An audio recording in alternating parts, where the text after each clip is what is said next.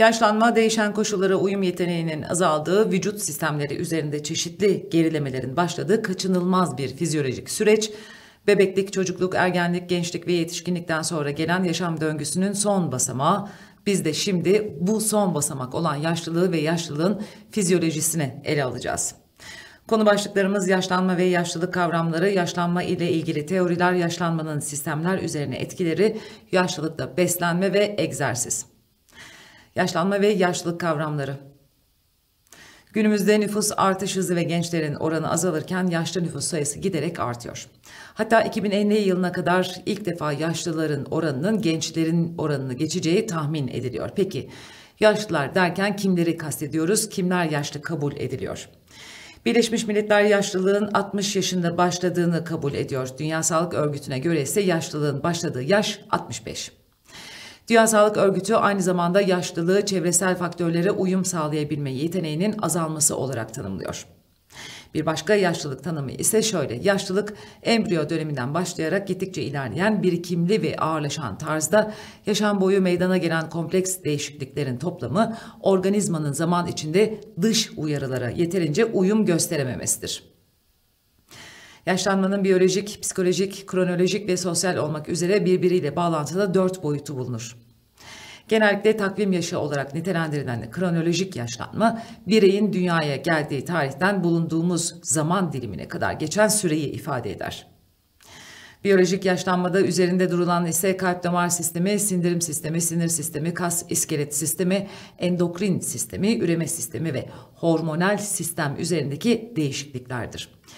Kişinin kendini hissettiği yaş olarak tanımlanan psikolojik yaşlanma, davranışsal uyum, problem çözme ve bellek gücü gibi kişinin bilişsel özelliklerindeki değişimlere odaklanır.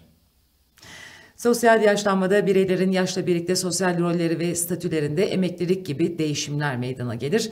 Bu da topluma uyum sağlama noktasında sorunlar yaşanmasına neden olur.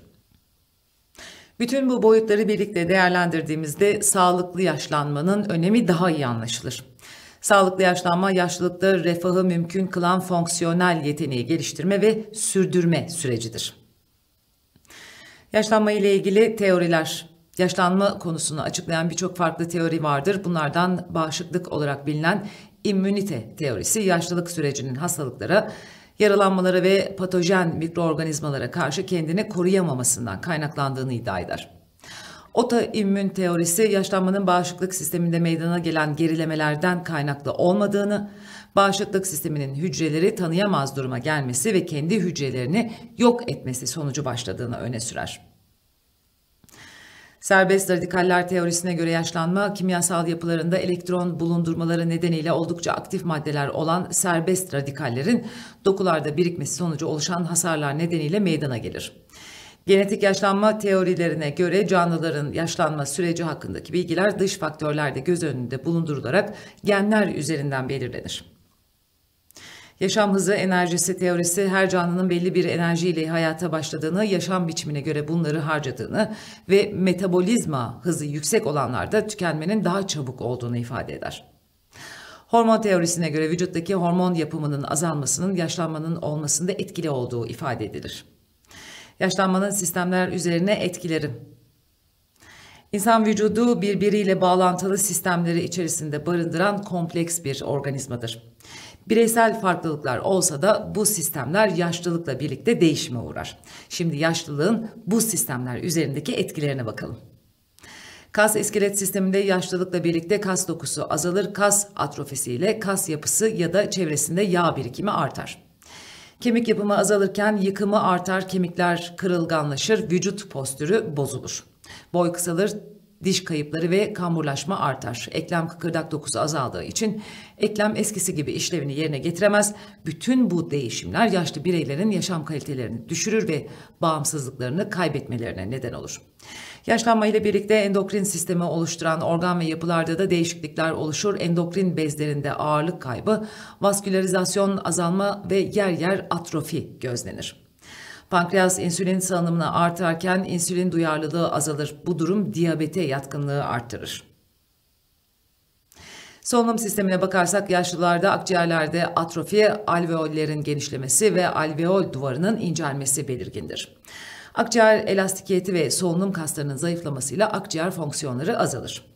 Yaşlanmanın kalp ve dolaşım sistemine etkilerine bakarsak yaşlılıkta mortalite ve morbiditenin en sık karşılaşılan nedeni kardiyovasküler hastalıklardır. Yaşla birlikte kalbin yapısını meydana gelen değişimler, genetik faktörler ve hareketsiz yaşam kalp yetmezliğine neden olur. Yaşlılarda hipertansiyon, felç ve koroner arter hastalığı görülme riski fazladır. Sindirim sisteminde ise yaşlanma ile birlikte özefagus kaslarının daha az kasılması, emilimde azalma, mide elastikiyetinin azalması, reflü artışı, laktaz üretiminin azalması, bağırsak molitesinin yavaşlaması, bazı enzimlerin etkinliğinin azalması gibi değişimler olabilir. Üriner ve genital sistemde böbrek ağırlığı ve idrar konsantrasyon yeteneği ve mesane kapasitesi azalır, idrar yapma hissi sıklıkla hissedilir. Yaşlanma ile birlikte sinir sistemi fonksiyonlarında da gerileme görülür. Hafıza kaybı, yüksek entelektüel fonksiyonlarda azalma, istemli hareketlerin yapılması sırasında hareketlerin yavaşlaması gibi yaşlılık bulguları ortaya çıkar. Beyindeki hücre sayısı azalır ve tepkime hızı yavaşlamaya başlar. Kelime hazinesi, kısa süreli hafıza, öğrenme, bilgi depolama, soyut düşünme, kelimeleri hatırlama, algılama gibi bazı mental fonksiyonlarda sorunlar yaşanabilir. Bu dönemde görme sorunları da oluşur. Lens elastikiyeti, kornea duyarlılığı ve gözyaşı azalır. Iris rengi kaybolur. Bunlar görme azlığı ve yakını görme sorununun önde gelen nedenleridir. Yaşın ilerlemesiyle en dikkat çeken değişiklik ciltte meydana gelir. Cilt ve cilt altı dokusu kaybolan kolajen ve elasten lifleri nedeniyle sarkmaya başlar. Kuru, mat bir cilt donuk ve solgun bir görünüm, ince çizgiler ve karışıklıklar, derin karışıklıklar ve sarkmalar, kalınlaşan cilt dokusu, genişleyen gözenekler, elastikiyet kaybı, yaşlılık lekeleri, kılcal damar çatlamaları, yaşlanan bireyde görülebilen diğer cilt belirtileridir. Yaşlılıkta beslenme Yaşlılık döneminde yeterli ve dengeli beslenme büyük önem taşır. Bu dönemde vücuttaki değişimlerle birlikte beslenme biçimleri de değişmeye başlar. Besin öğelerinden alınması gereken miktarlar değişir. Şimdi yaşlılıkta hangi besin öğelerinin ne kadar tüketilmesi öneriliyor ona bakalım. Günlük enerjinin %50-60'ının yaşlılık döneminde önemli bir besin kaynağı olan karbonhidratlardan karşılanmalıdır. Vücut ağırlığının kilogram başına 1 gram protein tüketilmelidir. Proteinler tercih edilirken et, et ürünleri, balık, yumurta ve peynirin yüksek kaliteli protein içerdiği, bitkisel kaynaklı proteinlerin ise düşük kaliteli protein içerdiği dikkate alınmalıdır. Bu dönemde sıklıkla karşılaşılan kolesterol ve kardiyovasküler hastalıklar göz önüne alınarak yağ tüketimi toplam alınan enerjinin %8'ini geçmemelidir. Günlük enerjinin en fazla %30'u yağlardan alınmalıdır. Vitamin ve mineraller yaşlı bireylerde herhangi bir sağlık problemi yoksa D vitamini dışında sağlıklı ve dengeli beslenme ile alınabilir. Haftada 2-3 kez 20-30 dakika güneşlenilmesi D vitamini için faydalıdır. Fiziksel aktivite, hastalık, iklim gibi durumlara göre değişiklik gösterse de yaşlı bireyler günde 2-2,5 litre yani 8-10 bardak sıvı tüketmelidir. Sindirim sistemi için büyük önem taşıyan posalı yiyecekler ise günde 25-30 mg tüketilmelidir. Yaşlılarda egzersiz. Yaşlılarda fiziksel aktivitenin olmaması yani hareketsiz bir yaşam, koroner arter hastalığı, kalp yetmezliği, diyabet, obezite gibi birçok hastalık için risk unsurudur. Artmış fiziksel aktivitenin ise mortalite ve yaşa bağlı morbiditeyi azalttığını araştırmalar bize gösterir.